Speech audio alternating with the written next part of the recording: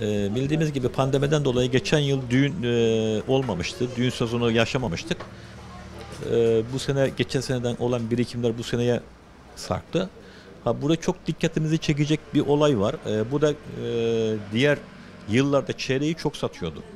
Çeyrek de şu anda 830 olmasından olduğundan dolayı çeyrek satışlarımız çok çok çok yani bayağı %70-80 gibi bir düşme var.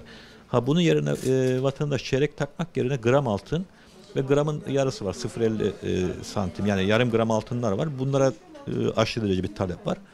Gram altın ve yarım altın çok satılıyor aşırı derece yani çeyrek olayı bitti gibi bir şey yani çok az. Yani e, birinci derece olan kişiler ya da daha önce düğünlerinde çeyrek takılmış ödüç e, varsa borcu varsa onlar takıyor.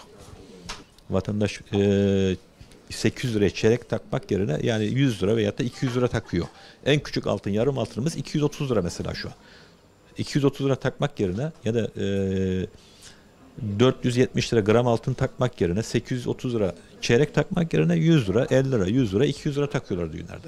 Yani bu tarz olaylar var yani. Çeyreğinde çeyreğini alıyor.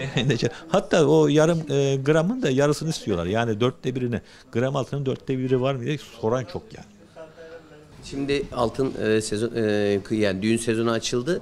Yalnız şöyle bir şey söyleyeyim. Hani siz herhalde hediyelik altınlardan bahsediyorsunuz. Hediyelik altınların tabii insan alım gücü biraz tabii ki düştü. Daha önceleri bir çeyrek lira şu an 830 civarlarında 825 civarlarında satışları var. E, net olarak bugün herhalde fiyat 830 lira olması lazım bugün itibariyle.